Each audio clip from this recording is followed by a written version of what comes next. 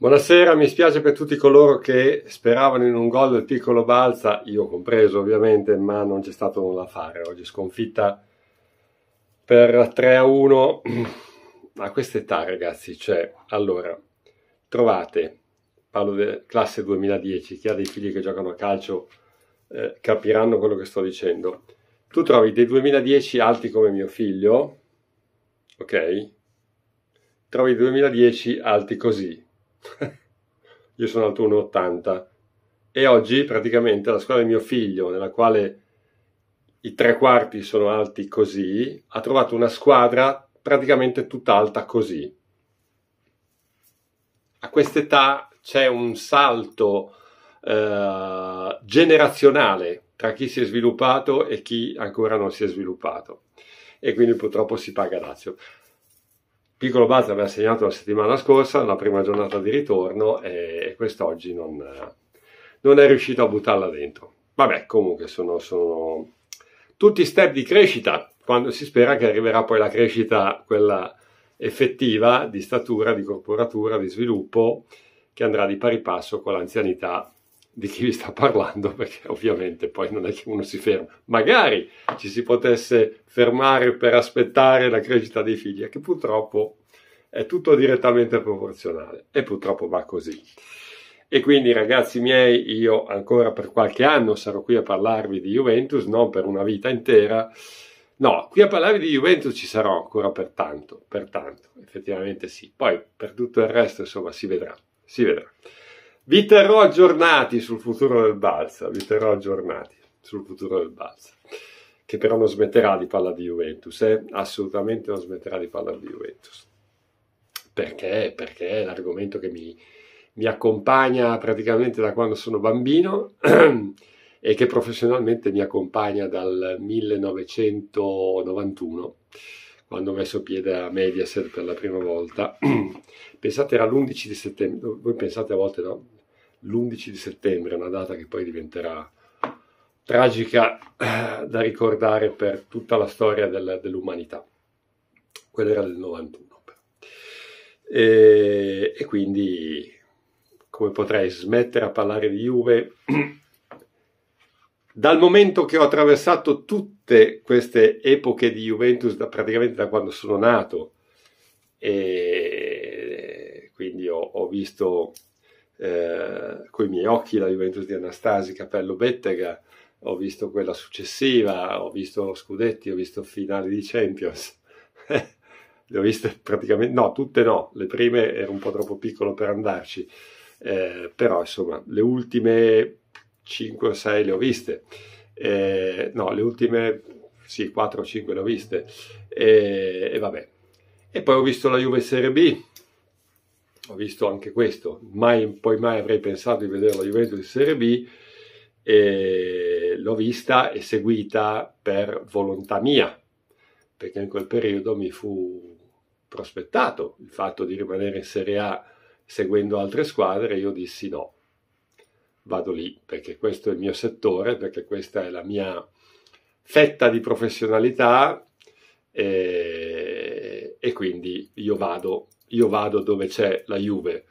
Eh, non dico che mi presero per pazzo perché rinunciavo ad un grosso eh, step professionale, perché tra l'altro quell'anno eh, noi di Mediaset avevamo i diritti in chiaro, c'era la famosa trasmissione Serie A di Bonolis, se ve la ricordate, ma io quindi potevo fare anche un salto dal punto di vista professionale, no? partecipando a una trasmissione in chiaro, collegandomi dai campi, eccetera, e ho detto no, questa è la mia vita professionale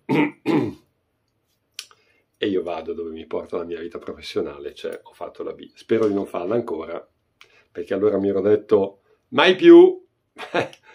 e, e, adesso vediamo, adesso lo dico col sorriso perché naturalmente eh, siamo, siamo, in attesa di quello che può succedere. Eh, qualcuno è già sicuro che anzi, se va bene, se va bene, la Juventus sarà in B, addirittura C, ma sì, ma addirittura come dire, radiata, ma sì, fuori dal calcio, ma sì, cancellata, ma sì, eh, come no, ma sì, si mettono lì a fare le tabelline, tutti i calcoli, guarda che ci sono in giro veramente delle, delle, delle situazioni che avrebbero bisogno di un approfondimento, di un'analisi, analisi, proprio analisi, eh, bella, bella mirata in profondità, eh, bella mirata, proprio analisi, analisi da esperti, eh, mirata in profondità, perché vorrei sapere cosa fanno durante la giornata certe persone. Sono tante, eh? tante, hanno i loro capipopolo, eccetera, ma vorrei sapere veramente, cioè passano tutta la giornata a fare i conti, i calcoli, anticipare le sentenze, cioè vivono di quello. Tu voi pensate la Juve cosa è in grado di fare?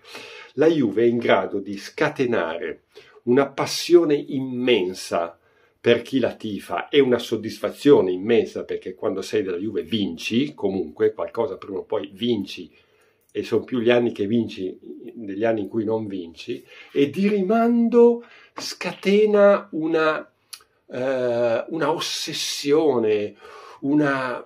Voi pensate è, perché poi è l'altra faccia della medaglia della potenza di questa eh, squadra, di questa società, di questo nome, no?